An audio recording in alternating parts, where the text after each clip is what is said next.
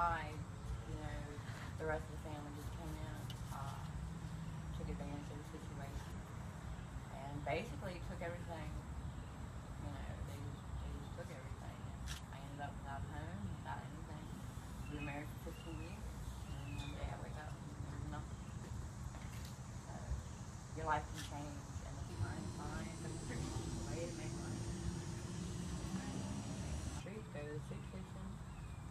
the one meal, and then just sometimes go to the library because you can stay in the library uh, for a few hours.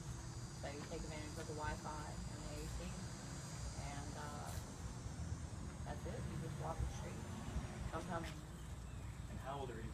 I'm 47. And you're homeless, correct? Yes, I'm homeless.